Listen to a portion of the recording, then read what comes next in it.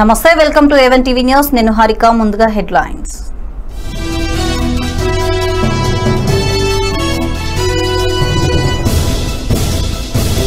లోక్సభలో రెండు వేల ఇరవై ఇరవై ఒకటి బడ్జెట్ ప్రవేశం.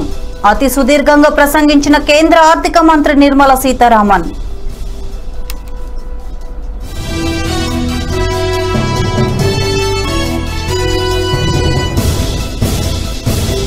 సుదీర్ఘ ప్రసంగంతో నిర్మలా సీతారామన్ రికార్డ్. చెప్పుకోదగ్గ అంశాలేమీ లేవన్న రాహుల్.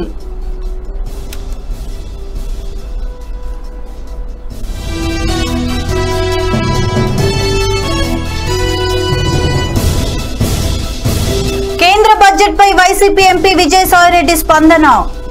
ఏపీకి జరిగిన అన్యాయాన్ని సరిదిద్దాలని డిమాండ్.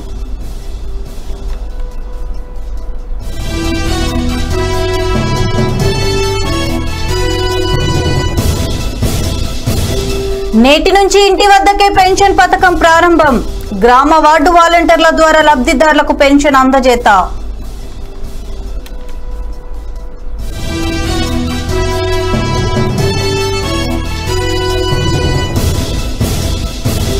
తిరుమలలో వైభవంగా రథ సప్తమి వేడుకలు.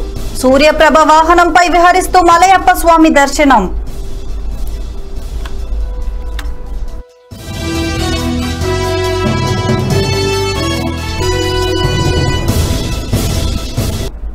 ఇక డీటెయిల్ చూస్తే కేంద్ర ఆర్థిక మంత్రి నిర్మలా సీతారామన్ లోక్సభలో ప్రవేశపెట్టిన బడ్జెట్లో వివిధ రంగాలకు కేటాయించిన నిధుల వివరాలు వెల్లడించారు ఆయా రంగాలకు కేంద్రం ఖర్చు పెడుతుంది ఎంత ఆదాయం వస్తుంది ఎంత అనే వివరాలను సభలో వివరించారు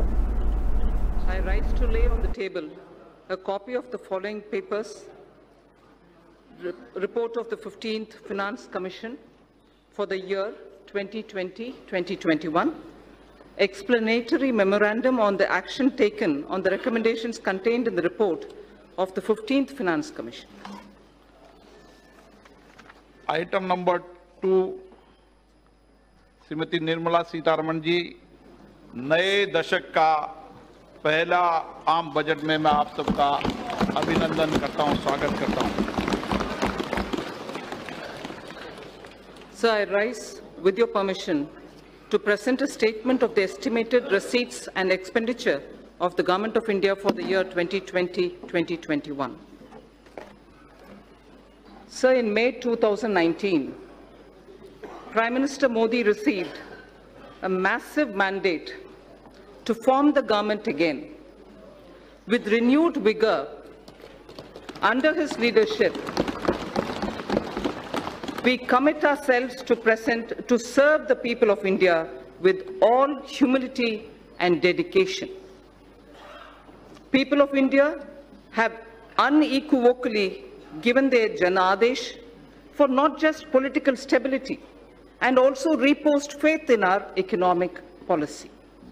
This is the budget to boost their incomes and enhance their purchasing power. Only through higher growth we can achieve that and have our youth gainfully and meaningfully employed. Let our businesses be innovative, healthy, and solvent with use of technology. For today's youth, born at the turn of the century, for every member of the scheduled castes and scheduled Andhra Pradesh ప్రభుత్వం ప్రతిష్టాత్మకంగా మొదలుపెట్టిన ఇంటి వద్దకే pension కార్యక్రమం రాష్ట్ర వ్యాప్తంగా పదమూడు జిల్లాలో శనివారం ఉదయం ఘనంగా ప్రారంభమైంది. రాష్ట్ర వ్యాప్తంగా ఉన్న వృద్ధాప్య వికలాంగ వితంతువులకు గ్రామ వార్డు వాలంటీర్లు వారి ఇంటి వద్దనే పెన్షన్లు అందజేస్తున్నారు. గ్రామ వార్డు వాలంటీర్లు తమకు అందజేసిన స్మార్ట్ ఫోన్ల ద్వారా లబ్ధిదారులకు పెన్షన్ల పంపిణీ నిర్వహిస్తున్నారు. ప్రభుత్వం ప్రతిష్టాత్మకంగా తీసుకుని అమలు చేస్తున్న వైఎస్ఆర్ పెన్షన్ కానుకలో మరో విప్లవాత్మకమైన మార్పు తీసుకువచ్చింది.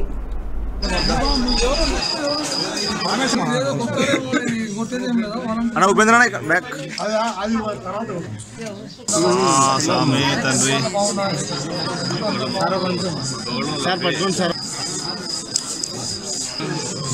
అంటే ఎన్నిక జరుగుతాయి సార్ సార్ ఇక్కడ చూడండి.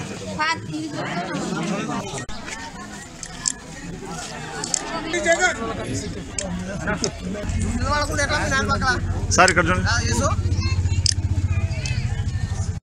కొంచెం ఉండవా? Okay sir.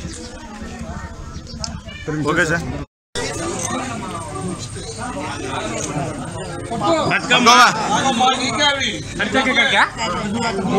తీసుకో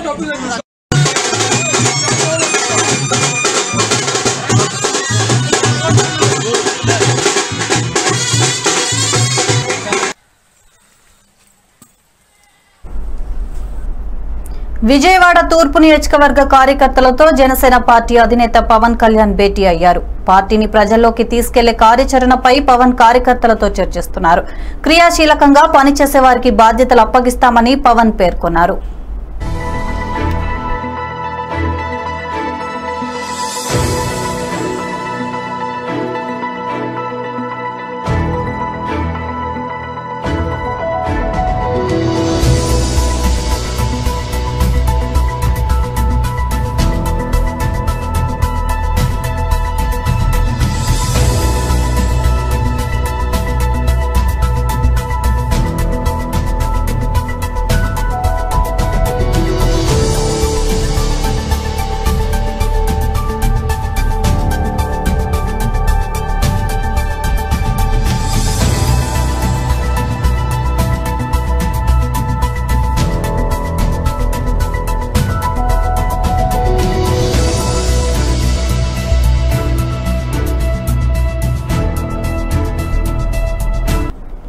సీఎం జగన్ ప్రభుత్వం ప్రతిష్టాత్మకంగా నడుస్తుందన్నారు మంత్రి కన్నాబాబు. వైఎస్ఆర్ పెన్షన్ కానుక కార్యక్రమంపై ఆయన మాట్లాడుతూ ఇంటి వద్దకే పెన్షన్లు రావడం చాలా సంతోషమని అన్నారు.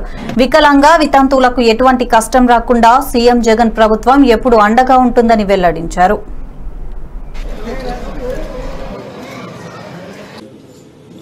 సచివాలయాలను ఏర్పాటు చేసి లక్ష నలభై వేల మందిని ఉద్యోగుల్ని ప్రభుత్వ ఉద్యోగులు నియమించడం ఈ దేశ చరిత్రలోనే ఒక రికార్డుగా నమోదైన విషయం కూడా మీ అందరికీ తెలుసు.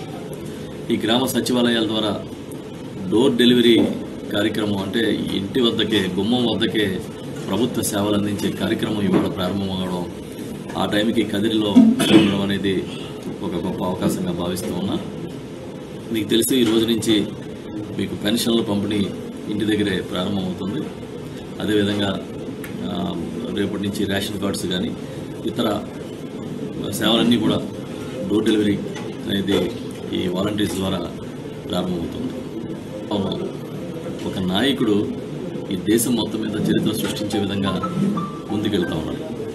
ప్రధానంగా వికేంద్రీకరణ అనేది ఫలితాలు ఇవ్వడం మొదలుపెట్టింది. నిజంగా గ్రామ సచివాలయ వ్యవస్థను తీసుకురావడమే పెద్ద వికేంద్రీకరణ. ఆ పాలనా వికేంద్రీకరణకి అది మొదటి అడుగుగా భావిస్తున్నాం. అది జరగకపోతే డోర్ డెలివరీ సర్వీసెస్ చేసే అవకాశం ఉండదు. ఇప్పుడు ప్రపంచం అంతా కూడా వికేంద్రీకరణ డీసెంట్రలైజేషన్ అనే ఒక మంత్రాన్ని జపిస్తూ ఉంది. ఏదైనా పెద్ద పెద్ద సంస్థలు కానీ పరిశ్రమలు కానీ అదేవిధంగా ప్రభుత్వ కార్యకలాపాలు కానీ ఒక చోట నుంచి చేసే పద్ధతి నుంచి డీసెంట్రలైజ్ చేసుకునే కార్యక్రమం. దానివల్ల మేలైన ఫలితాలు వస్తాయనేది ఇవాళ ఈ ప్రపంచం మొత్తం నమ్ముతుంది. ఆ దిశగా ఆర్థిక మంత్రి నిర్మల సీతారామన్ ప్రవేశపెట్టిన కేంద్ర బడ్జెట్ పై కాంగ్రెస్ అగ్రనేత రాహుల్ గాంధీ పెదవి విరిచారు. బడ్జెట్ ప్రసంగం చరిత్రలోనే అత్యంత సుదీర్ఘమైనదిగా ఉంది కానీ తరచి చూస్తే వెట్టి డొల్లలాగా ఉందని విమర్శించారు. ఈ బడ్జెట్లో చెప్పుకోదగ్గ విషయాలేమీ లేవని అన్నారు. దేశంలో నిరుద్యోగమే ప్రధాన సమస్యగా ఉందని కానీ యువతకు ఉద్యోగాల కల్పనకు తోడ్పడేలా ఏదైనా ప్రణాళికబద్ధంగా చేశారా అంటే అది లేదని వ్యాఖ్యానించారు. Youngsters get jobs. I saw a lot of tactical stuff, uh, you know, redundant things, but I didn't see any central idea. तीन parameters I, I, I think it it um, it describes the government uh, quite well. Uh, what it was? How many hours was it? Two two hours more than forty two hours, more than two hours. More than two hours forty five minutes. I think I don't remember the exact time. A lot of repetition, a lot of rambling, nothing concrete. So it, it's a it's the mindset of the government All talk, all talk, all talk, nothing happening. But the country is of course suffering. You can ask, and I'll, I'll, I'll speak directly to the youngsters in uh, university and college. Uh, you know exactly what's going on. You know that you don't have a future uh, as far as jobs are concerned, and nothing happened here to help you. Thank you. कि कैसे देखते हैं वित्त मंत्री के भाषण को का- కరోనా వైరస్ కలకలం సృష్టిస్తుంది. ప్రపంచ దేశాలను మెడికల్ ఎమర్జెన్సీ ప్రకటించే అంతలా భయం సృష్టిస్తుంది. ఈ కరోనా వైరస్ చైనాలో మొదలైన ఈ వైరస్ ఇప్పుడు ఇండియాను వణికిస్తుంది. ఎక్కడో చైనాలో మొదలైన ఈ కరోనా వైరస్ మారుమూల పల్లెలకు కూడా వణుకు పుట్టిస్తుంది. గత పది రోజుల నుండి ఎక్కడ ఎలా ఈ వైరస్ సోకుతుందో అని భయంతో బెంబెలెత్తిపోతున్నారు. కేరళ హైదరాబాద్ తదితర ప్రాంతాల్లో ఇప్పటికే కరోనా వైరస్ ఇప్పటికే కేసులు నమోదయ్యాయి. దీంతో డాక్టర్లు కూడా పలు సూచనలు చేస్తున్నారు. పలు రకాలుగా ఈ వైరస్ సోకే ప్రమాదం ఉందని ముఖ్యంగా పరిసర ప్రాంతాలు శుభ్రంగా ఉంచుకోవడంతో పాటు అపరిచిత వ్యక్తులతో కరచాలనం చేయకూడదని మొహానికి మాస్క్ ధరించడం వల్ల ఇతరుల నుంచి వైరస్ సోకే ప్రమాదం ఉండదని వైద్యులు సలహాలు ఇస్తున్నారు. కానీ మనం అంత భయపడి ఏదో అయిపోతుందని భయపడాల్సిన పని లేదు.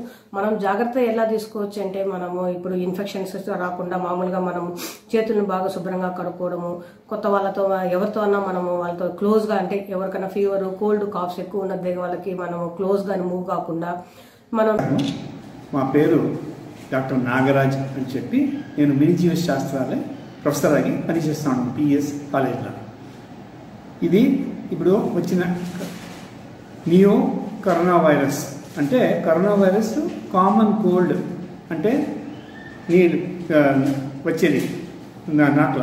అది ఆ జ్వరం చేసి ఇది వస్తుంది. ఇది ఇప్పుడు కొత్త వైరస్ వైరాణు వచ్చింది.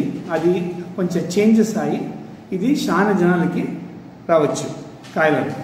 దానికోసము ఈ డబ్ల్యూహెచ్ఓ ఈ పద్దు they have declared as a global alert global alert ఇంకొద్ది ఇచ్చినారు కాల్ మా- మార్నింగ్లో సో అన్ని దేశాలు ఇప్పుడు జాగ్రత్తగా ఉండాలి.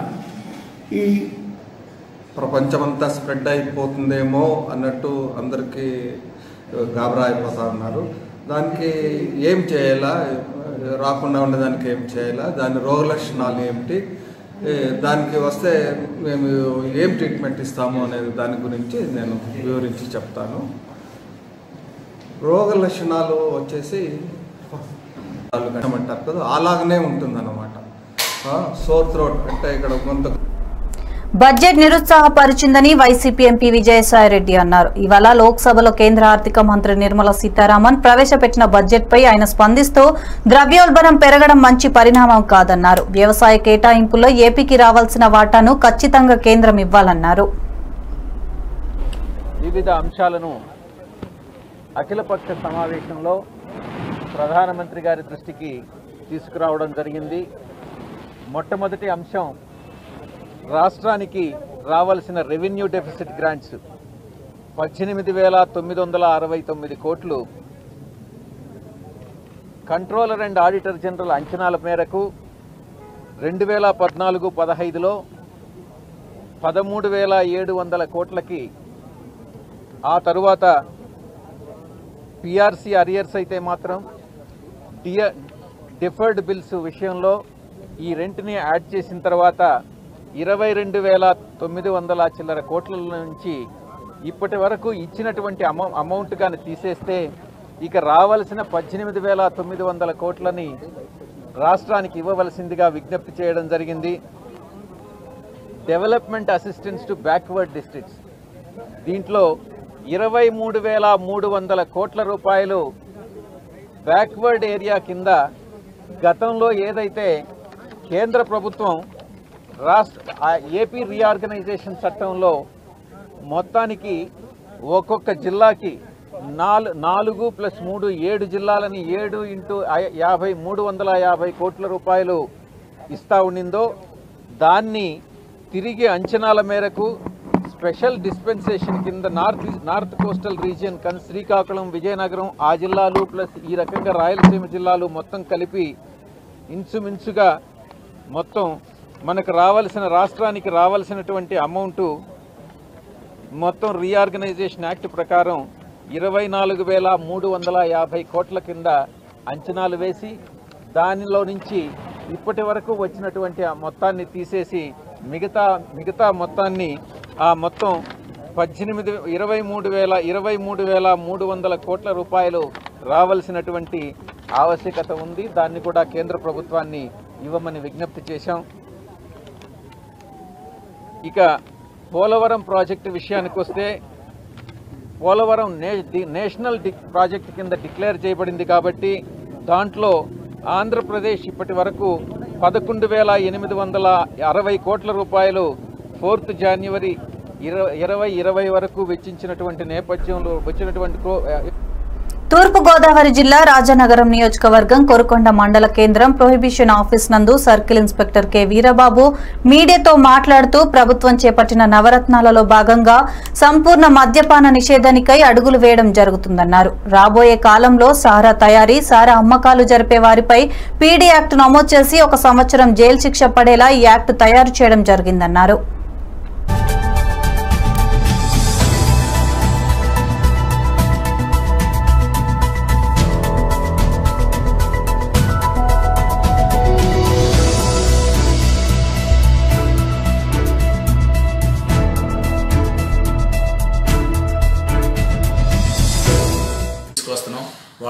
గ్రామ వాలంటీర్లు కూడా మాకు అనేక విధాలుగా సహాయం చేస్తున్నారు. ఈ ఎటువంటి ఇన్ఫర్మేషన్ ఉన్న వాళ్ళ గ్రామంలో ఎటువంటి సారాంకాలు ఉన్నా సరిగానే మాకు చెప్పమని మేము చెప్తున్నాం. వాళ్ళు ఏవైనా మాకు ఇన్ఫర్మేషన్ ఇచ్చిన వెంటనే మేము వెంటనే వెళ్ళి కేసులు నమోదు చేయడం మేము జరుగుతుంది. అదేవిధంగా ఈ రాబో కాలంలో కూడా ఈ ఎవరైతే ఈ సారా వ్యాపారాలు మానకుండా చేస్తారో వాళ్ళ మీద పీడియాక్ట్ నమోదు చేసి ఒక సంవత్సరం వరకు జైలు శిక్ష వేసేలాగా కూడా మేము ఆ యాక్ట్లో మేము ప్రిపేర్ చేస్తున్నాం. అందువల్ల ఈ విషయంలో ఇటు మన గ్రామాల్లో కానీ ఎక్కడైనా సరే ఈ సారా అమ్మకాలు జరుగుతున్నా లేకపోతే మా అనధికారికంగా ఈ మద్యం అమ్ముతున్నా కూడా మాకు సమాచారం ఇస్తే మేము వాళ్ళ విషయ వాళ్ళ విషయాలన్నీ గోప్యంగా ఉంచి మేము వాళ్ళ మీద దాడులు చేసి వాళ్ళ మీద తగు చర్యలు తీసుకుని వాళ్ళని అరెస్ట్ చేసి కేసులు నమోదు చేసి కోర్టుకి పంపడం జరుగుతుంది.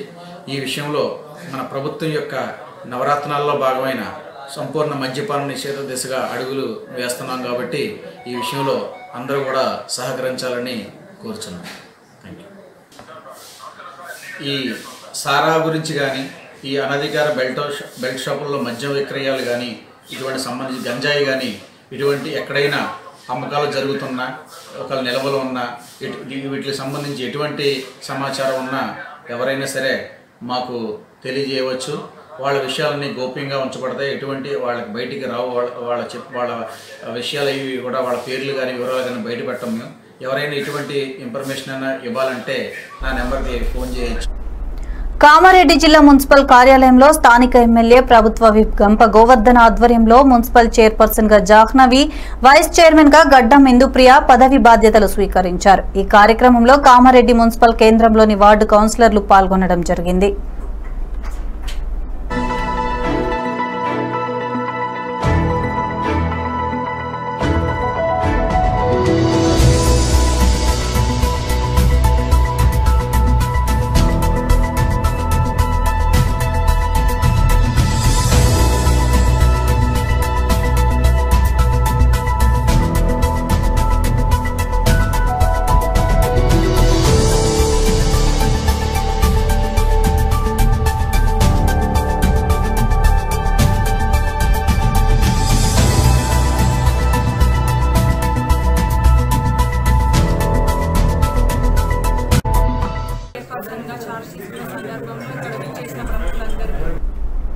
ఏలూరులో పట్టపగలే దారుణం చోటు చేసుకుంది. ఏలూరు త్రీ టౌన్ పరిధిలో విద్యుత్ నగర్ ప్రాంతంలో ఓ ఇంటిలోనికి ప్రవేశించిన ఇద్దరు అగాంతకులు ఒంటరిగా ఉన్న మట్ట విజయలక్ష్మి ఇంటిలోకి ఇల్లు అద్దెకు కావాలంటూ ప్రవేశించిన అగంతకులు బీర్వతాళాలు ఇవ్వమని దౌర్జన్యం చేశారు.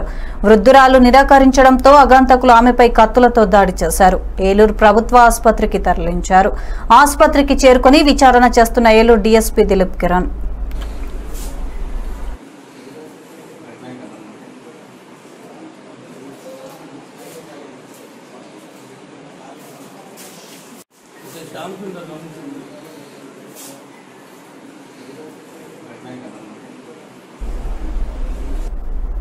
తిరుమల శ్రీవారి ఆలయంలో రథసప్తమి వేడుకలు ఘనంగా ప్రారంభమయ్యాయి. వేకువజామున సూర్యప్రభ వాహనంపై విహరిస్తూ మలయప్ప స్వామి భక్తులకు దర్శనమిచ్చారు. వివిధ రూపాల్లో మాడవీధుల్లో విహరిస్తూ స్వామివారు భక్తులకు అభయప్రదానం చేయనున్నారు.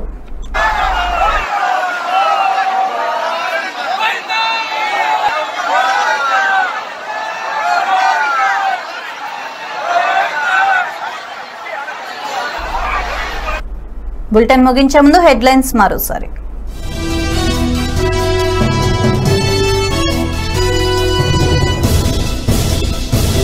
లోక్సభలో రెండు వేల ఇరవై ఇరవై ఒకటి బడ్జెట్ ప్రవేశం. అతి సుదీర్ఘంగా ప్రసంగించిన కేంద్ర ఆర్థిక మంత్రి నిర్మలా సీతారామన్.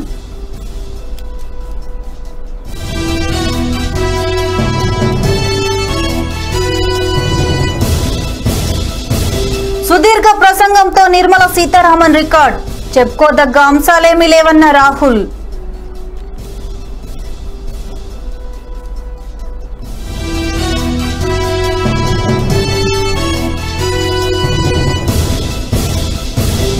కేంద్ర బడ్జెట్ పై వైసీపీ ఎంపీ విజయసాయిరెడ్డి స్పందన.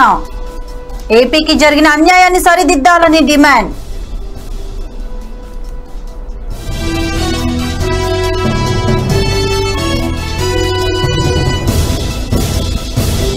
నేటి నుంచి ఇంటి వద్దకే పెన్షన్ పథకం ప్రారంభం. గ్రామ వార్డు వాలంటీర్ల ద్వారా లబ్ధిదారులకు పెన్షన్ అందజేత.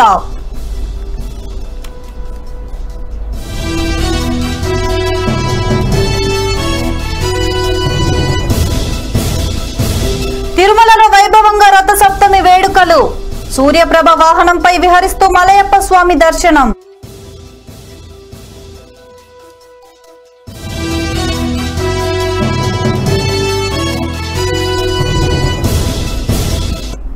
ఇవి బులెటిన్ అప్డేట్స్ మరిన్ని అప్డేట్స్ కోసం చూస్తూనే ఉండండి ఏవన్ టీవీ న్యూస్